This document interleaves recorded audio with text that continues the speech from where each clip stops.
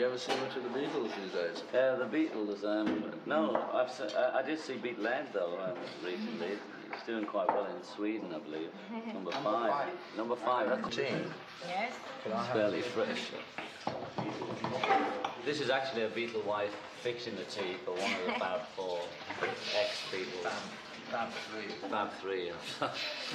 And I have Beatle my Eds wife here. doing very well in This is Sweden. my wife.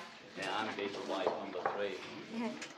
See Beatle Bill making a pig of himself. Took her from the mouth of T- Mr. Tate himself. He used to live at the back of Liverpool. Chemical What's product that? in the world. Just like the old days. Yes.